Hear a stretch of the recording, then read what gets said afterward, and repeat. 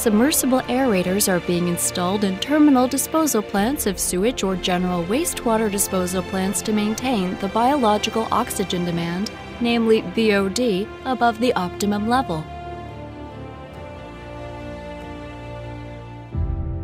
It is composed of the fluid maneuvering part, including the motor, impeller, and sewage inlet, the aeration room of the guide wing, aeration pipe, perforated pipe or perforated plate, and current outlet.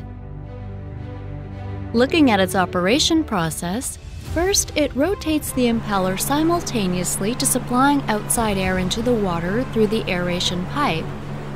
As the impeller rotates, sewage is led downward through the intake.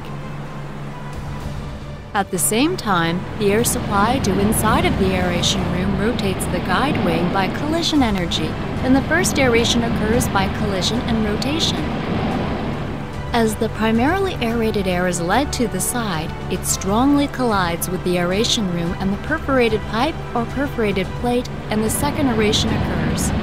The secondarily aerated air is discharged through the current outlet and led downward through the inlet. In this way, it efficiently supplies oxygen in the stream flowing through the current outlet. In this way, the submersible aerator of Keeson submersible equipment enables the smooth flow of water and air as the flow of air and water is evenly distributed and spread 360 degrees. Stainless steel is used for the aerator so it is more durable than the previous aerators made of cast iron. The purpose of the aeration is transfer of oxygen and mixed agitation.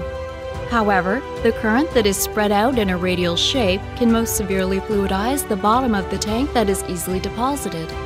It can also be used as an agitator when an air blower is stopped as its agitation performance is excellent.